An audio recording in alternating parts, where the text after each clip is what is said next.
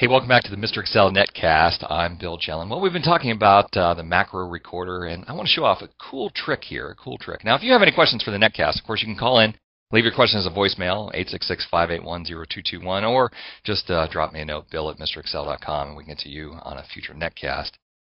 I've arranged my window here so that way the Excel window is very small, and in back in the background, I show the Visual Basic window. So that's Alt F11 to get that. I'm going to turn on the macro recorder. We'll just uh, start the macro recorder. And in VBA now, we should see that we have modules, and I can open module 1, and we can actually see the tiny bit of macro that's been recorded. Now I'll switch back to Excel, and in this particular case, I want to rename these sheets. So typically, when we start with a brand new worksheet in Excel, we get sheet 1, sheet 2, sheet 3. And you can see that as I do things on the left-hand side, I just changed the application window, that got recorded as code on the right-hand side. So I'm going to come here to sheet one. I'm going to double click that and call it revenue.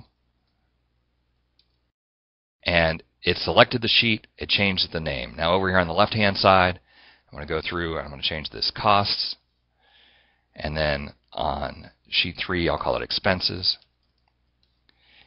And it's pretty wild when you set this code up so you can see both the Excel window and the VBA window. You can actually watch the macro recorder, write the code right before your eyes. It's a great way to see which lines of code got written in response to doing certain things within the Excel window. So if I choose a few cells here, one, two, three, control enter, it will do two things. First of all, the select, and then it applies a formula. Now it uses the old R1, C1 formulas here, and that's a topic for another day, but it's pretty cool to see these two macros work side by side.